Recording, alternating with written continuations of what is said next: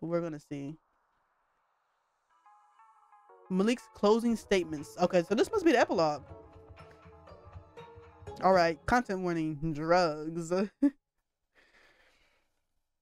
Is this his house now? Ever since Rocky let you practice at his gala, you somehow managed to stay booked and busy every weekend for the past few months. Producer turned party DJ was not one of your goals, but you can't lie and pretend the pay isn't worth it. You did a gig last week at one of the local colleges and somehow walked out with 15k for a four hour set.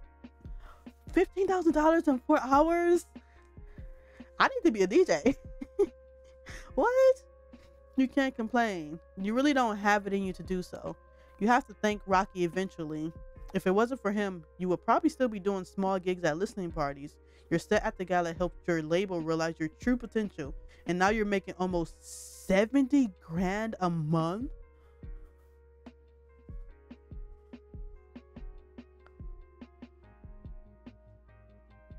Seventy grand? Oh my god, he is rich rich. Cause making 70 grand in a year is all is already a decent amount of money, but a month? Oh my god. Life is crazy. One day you're struggling to make ends meet because you wanted to get the new pair of Beezies and make rent. Now you're putting on a new pair every day of the week in an apartment you never imagined yourself in. You're grateful. Your hard work finally paid off. But why does it feel like something is still missing? Because he wants a lover. He needs somebody to share it with. Could share it with them kids of yours, but I know he doesn't want to. Your relationship with your mother has gotten better in the past few years. Ever since she realized she hated your father, she has been more patient with you. Feels like she doesn't resent you anymore. Well, that's good. You wonder if her resentment was actually towards you or your father. You always got the brunt of it while your father remained unscathed. You hate that man, but at least you're not the only one now.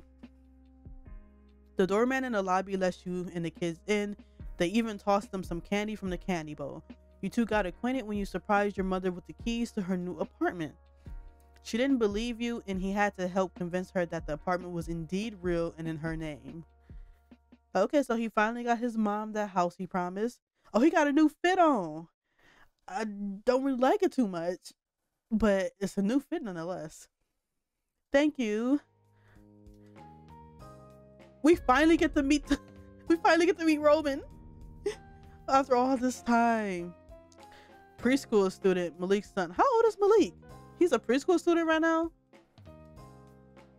Isn't he supposed to be older than her? Isn't she she a preschool student? Okay. Thank you, mister. You give uh, he is supposed to be biracial too, isn't he? You give him a nod of gratitude as you make your way to the elevator. Daddy, can we eat it now? You just had pancakes 20 minutes ago. Hey. You can eat candy at any point, you know? And what about it? You look like Huey from the Boondocks. he looks like a mix of Huey and Riley. He acts just like his mother. It takes everything in you to not give him a look. Your resentment towards his mother isn't his fault. You really don't feel like arguing with two five-year-olds about eating candy at 10:30 a.m. They're both five. They're both the same age. How? I'm so confused by the timeline. Okay, fine, here. You quickly unwrap it for them. You are dropping them off at their grandmother's house, so whatever happens after this point isn't your problem. Good morning, Nana. Good morning, Nana. Your kids bust into your mother's apartment like bats out of hell, going straight for the knock you off your feet hug. She's used to this by now. She bends down to embrace them. Oh, this is his mom. Oh, her, her hair got some texture to it. Like her hair has like a certain texture to it that we haven't seen in the art style yet. That's interesting. Uh, now if it isn't my favorite children, Affy, I'm I don't know how to pronounce her name. I'm gonna say Affy, secretary at the mayor's office. she pulls away, giving them a better look. Now, who gave you candy this early? the doorman. Daddy said we can eat it now. You're already halfway towards the kitchen to avoid whatever look your mother's trying to give you. Like you said, not your problem right now. You set the empty containers on the countertop, looking in the fridge for new ones. No matter how old you are, nothing hits better than a home cooked meal. That is true. Her cooking is unique, or maybe that's the nostalgia talking. Whatever it is, it brings you comfort and it gives you an excuse to see your mother every Sunday. That's nice. She's still your mother despite everything. You can't blame her for her resentment or the way she treated you because your father had a massive part to play in that. I mean, you could blame her a little bit. you could never hate her. She's the only person besides Abina who had your back for a very long time. She encountered she encouraged you to do whatever made you happy no matter how many times your father said you were wasting your life. You're glad you listened to her, but having to see your mom promote Coochie Man on her headbook with all her of your aunties and uncles isn't something you like to think about. That's awkward, honestly. You fear the next family wedding you are forced to attend and the questions that will come with it. Light soup, you're spoiling me, mom. Who said that was for you? Abina is coming. Uh, is Abina is coming over later. It's hers. She has been asking me for some time to make her some, so I can't have any. I set aside a smaller container for you. It's behind the big one. You should be grateful. Your mother is taking time out of her day to cook for you, but it hurts. You feel faint. The light is fading. I'll make you a big pot next week. On second thought, maybe you can live another day. Thanks, mom. He's such a he's such a big kid. you walk towards her, pulling her into a hug. It's only been a week since the last time you've seen her, but you can't lie. At heart, you've you've always been a mama's boy. Her hugs were always so warm, even if you've outgrown her. You remember when she used to take you in a in Abina to the movies, to the zoo, and to her favorite place, the museum. She always worked on the week on the weekdays, but she made sure to save Sundays for her children. She's a good woman. You wish your dad didn't ruin her life for so long. You wish you could have saved her sooner. You look strong. Have you been at the gym? Yeah, I got a trainer and we've been working to get me to get me back in shape. He talking about Lalonzo right there. Literally. Oh, it's been working off. One of the secretaries in the office has been taking more to her yoga classes. It's relaxing and very healing. I even ordered a mat from what do they call that site? B- Bamazon? I guess it's like Amazon. Bamazon. Did Amina teach you? Of course she did. Remember how she was always ordering nonsense on eBay? I like how eBay is still eBay. Just one letter difference. That was both of you, but she doesn't have to know that. Haha, yeah, I remember. It was always clothes. And shoes for yourself, but she doesn't need to know that either. Anyways, I got two for the kids. I want to start teaching them how to relax early. That's that's the good thing. I could have gone to the store and gotten you stop as you notice the look she's giving you. Yeah, you'll leave this one alone. I mean, that's great. I've been trying to find a good gymnastic place for Ria. She's been jumping around the house for weeks now. And ever since you gave Roman that basketball, he hasn't stopped playing with it. The overwhelming feeling of stress engulfs you the moment you realize how much of a time commitment both for these those sports are. Alice would kill you if you added anything more to her schedule. You don't have time for all those activities. You hardly have enough time to be a father. Your mother is staring at you hard before she realizes what is happening. Her hand finds your shoulder. Roman, Ria, there's a surprise in your rooms. Want to go look at it? He about to get good old mom talking. They don't even answer, but you hear the sound of running and the loudest scream you think you have heard come out of Ria's mouth.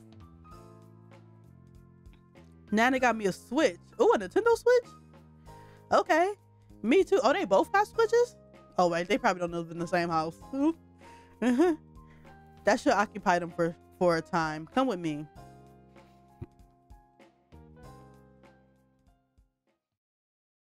What's wrong? I I don't think what I was meant to be a dad. I'm tired, mom. I'm really tired. Uh oh. I thought this would get easier now that I have money. I really thought getting some money would make this easier, but it's not.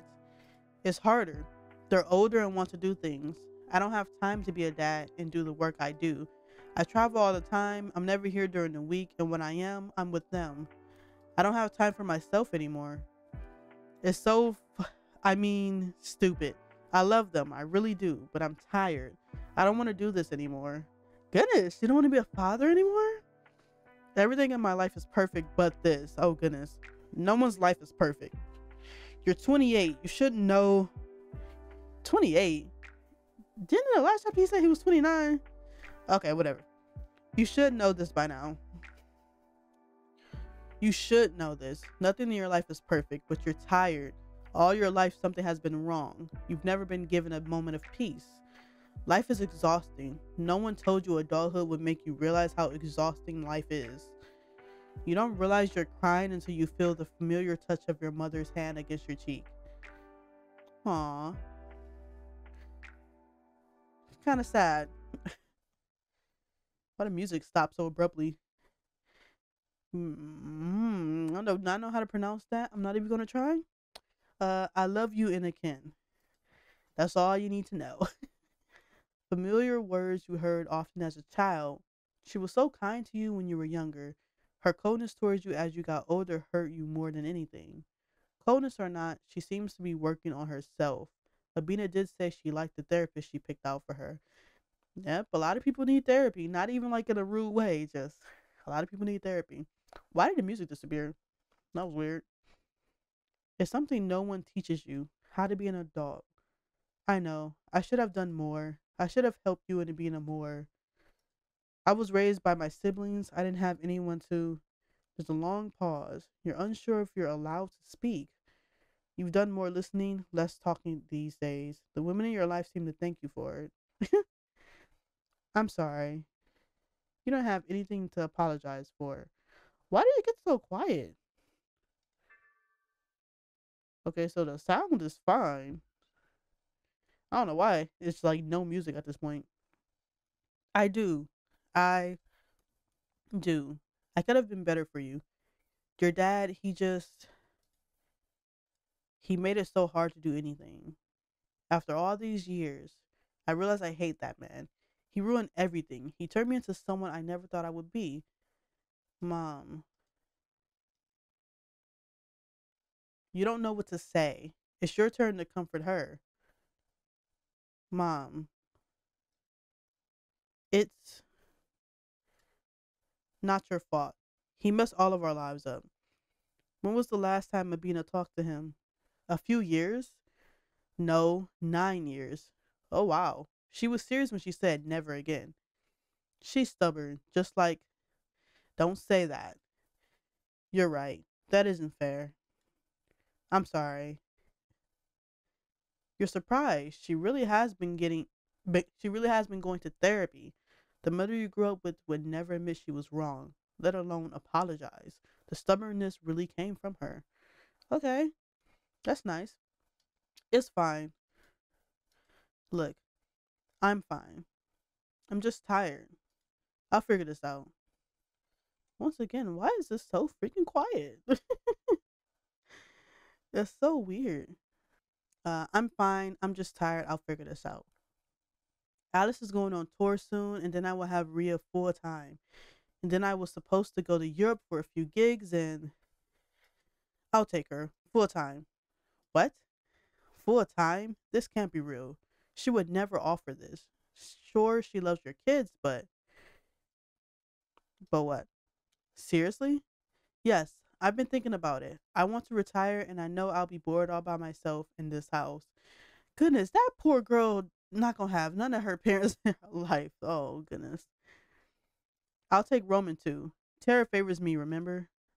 Tara does like her. A little too much actually. You never really understood their relationship, but your mother has gotten you out of a lot of fights with her. Is is Tara too busy? They never mentioned Tara being too busy, so why would she take Roman? You can't say yes. You should try to be a better father, a better parent for your kids. But your career is going so well right now. You're in your prime. You're living a dream you, you've wanted to live for years. That's kind of crazy to like abandon your kids for fame. Kind of crazy. Okay. I'll talk to Alice about it. I already have. She said yes. We had a similar conversation. She's tired too. Maybe you should talk to her. Oh my god. None of the parents want a parent. you should have known they were talking. Your mother was her biggest supporter during her pregnancy, despite her dislike of the situation.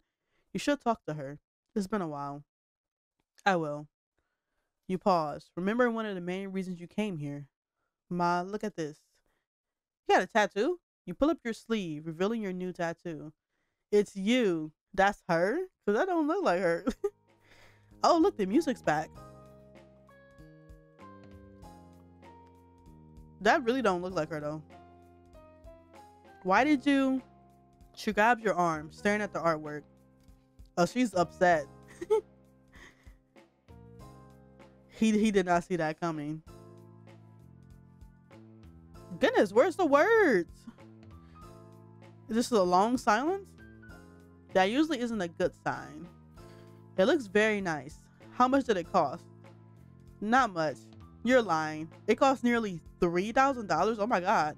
And it hurt like hell. You won't lie and pretend you didn't shed a few tears. He is like mad rich now though. Like he makes $70,000 a month. So $3,000 for him really is nothing. You're my mom. I wanted to show you how much I love you. Oh, that's nice. You didn't have to get a tattoo to show that. But it is very nice. I look pretty. Glad you like it, mom. It's a scam call, but you really don't want to be in this situation much longer. This is stressing you out. Hey, I got to go. I'm supposed to meet up with someone. I'll tell Alice to expect you. Damn, okay. Thanks, Mom, for this, for everything. I love you. I love you too. Let me know when I can come by and get her, get her stuff. Yes, Mom, later. You linger at the doorway before moving to give her another hug. You've always been a mama's boy. You're glad she's let you back into her arms again. That was a nice moment for them. She was right. You were going to Alice's apartment to talk things out. Okay, this epilogue is a lot longer than I thought it was going to be. but I do want to finish it. Oh, goodness. You used to come here so often, and now you rarely see her. She was your best friend for so long, and now you feel like strangers. Fame does crazy things. Also, wasn't her career taken off? She's still living at a regular apartment? you don't bother calling. You just walk up and ring the doorbell. If she's home, she'll answer. If she isn't, you can go home and pretend you didn't just attempt to reach out. Avoiding your ex because it hurts to see her is typical 28 year old man behavior. Too bad she answered the door. hey, I would have thought you were avoiding me, but I guess I was wrong. I would never avoid the mother of my child. So why haven't you responded to my calls? Uh, she got you there. Truth is, you have been avoiding her. Now that you're famous, you've gotten a lot more attention from women, and sometimes men, who most likely only want you because you have status in the city now. But Alice never was like that. She liked you for you. Even when you were broke and didn't know what you wanted to do, she sat by your side. She supported you until your dreams became her dreams, and her dreams came true. Still, you know you will find that connection with someone else. You have to. You don't know what will happen if you don't.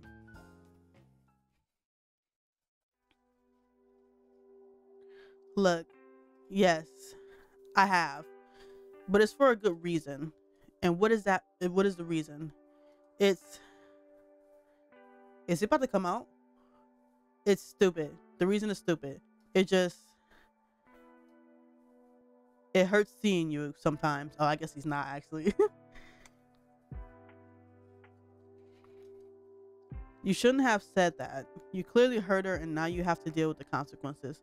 I mean, no, I didn't. Yes, you did. You did. Fine. Shit. Alright, fine. It's hard seeing you sometimes. I need to move on, but I can't. I haven't met anyone who has matched your energy. No one else makes me feel the way you do. And I thought avoiding you would help me get over it, but it isn't helping at all, and now I don't know what to do. Maybe avoiding your best friend isn't that good of an idea. Before all of this, remember what we were? friends. We were friends. and you can't avoid me. Haven't I taught you anything? You can't. You never were able to. You two were like magnets, always finding your way back to each other, like some soulmate shit. Also, you share a kid, so it's kind of easy to stay connected. I'm sorry. I remember. I really am. I should be better to you. Uh huh. Keep going. And I, I'll never avoid you ever again. And, and, she gives you a look. That look. Oh, if you wanted to smoke, why didn't you just say that? what? You quickly run to your car to grab a pre roll. Dispensary level shit. You can afford it. Might as well indulge. Race you to the roof. Deal.